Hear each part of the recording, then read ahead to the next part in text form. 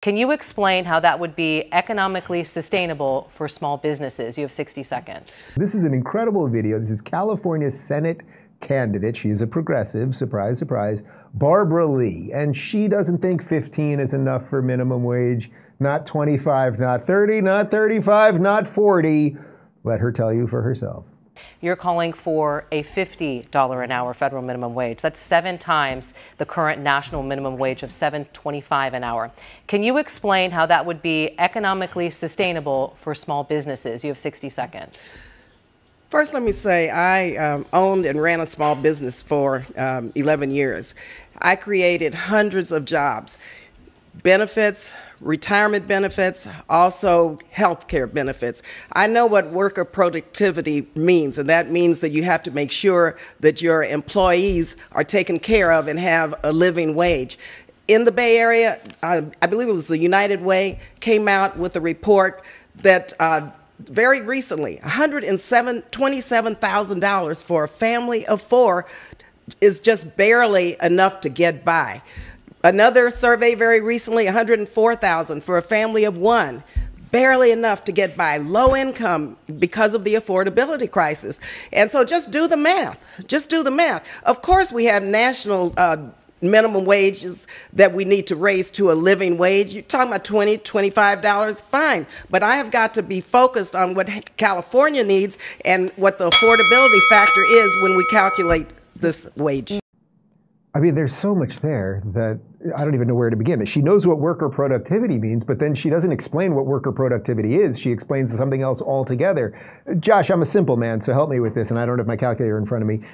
I'm starting to think that if you just artificially raise the wages that you pay people, that ultimately other people will have to figure out how to make up for those expenses and the cost of goods and services will rise. Am, am I some sort of crazy capitalist, very confused maybe? No, you're not confused at all. And you know, worse than that, many people will be fired. I mean, here here's the grand irony of the whole minimum wage debate.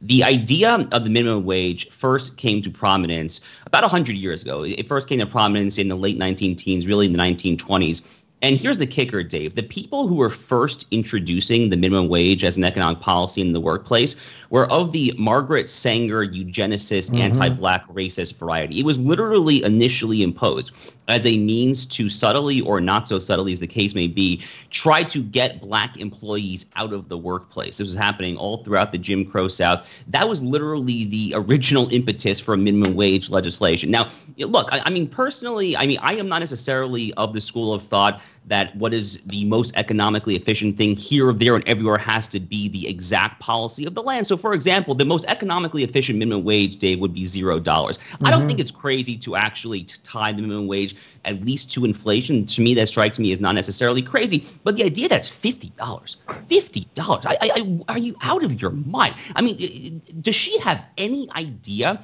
What the drop in employment the very next day after this policy went into place. I mean, she probably doesn't because she's never read an economics textbook there.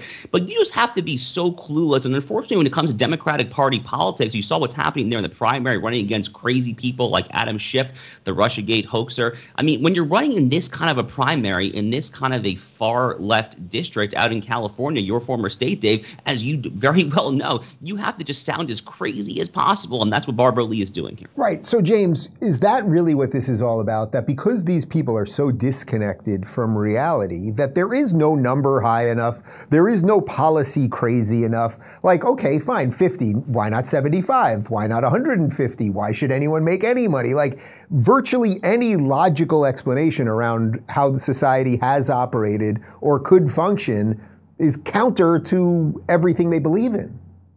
Well, they're not real big on society functioning, so that's true. Um, and your logic is right if if 50 why not 75 if 75 why not 150 if 150 why not a million? Why not there just not be money? And uh, of course the economics would begin to dictate that over time. Your your analysis when you when you spoke to Josh a moment ago is absolutely right. You're just going to inflate the cost of everything.